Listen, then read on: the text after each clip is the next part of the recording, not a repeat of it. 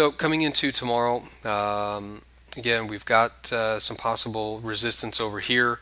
Uh, this is going to be any. This is getting to be a fairly large area now that the market has tested a couple of times. Here we've got um, 9740. Whoops, 9744 up to 1.9800. So we've got this block of resistance that's starting to build right here. Uh, coming down for support uh, in the middle here again we've got this about 60 pip range. Uh, this is 1.9669 down to 1.9600 roughly. Uh, so again if once the market uh, gets into these areas this is where we start looking for a trade. So I'm looking for uh, trades to the downside here if the market does trade back into our area of support.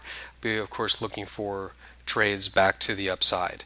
Uh, in both cases, though, we do have possibilities for trades uh, as a, a, continuation. So if, uh, for example, we see the market trading into resistance here, the way you can um, the way you can confirm that the market is um, gaining momentum to the upside is when you see this type of a pattern, this uh, triangle or pennant pattern. So if the market is going to continue to the upside, in general, what you will see is the market break out uh, and then form a pennant like this or see the market break out and form a flag.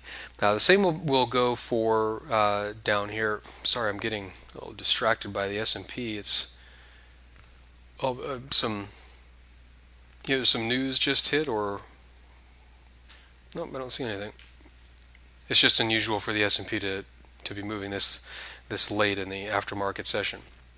Uh, either way, we, if we if we do get a breakout down here, you'll probably see the same thing with the market forming either a pennant pattern here uh, or a flag.